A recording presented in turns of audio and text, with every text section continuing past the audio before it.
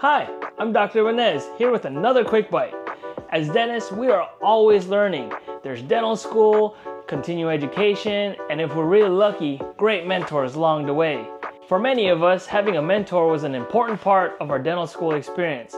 But now that we're out of school and members of the WDA, we have a whole network of professional mentors right at our fingertips.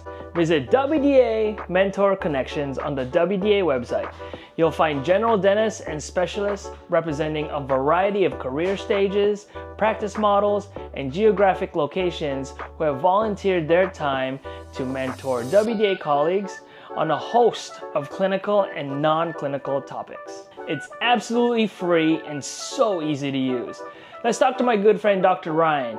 Like me, he's a volunteer mentor in the program, but he's also been a mentee as well.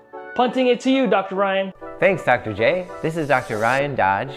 I had the great opportunity to receive mentorship from the WDA Mentor Connections program.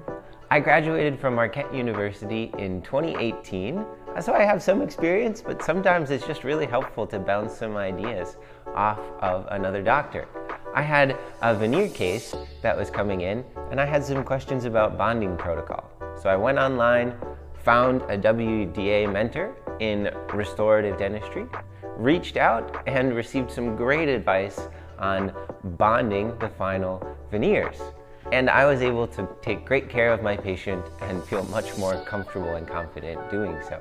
The WDA Mentor Connections program is a great resource for dentists of all ages and with many topics to choose from and mentors ready to help. And the best news of all is that it's free with your membership.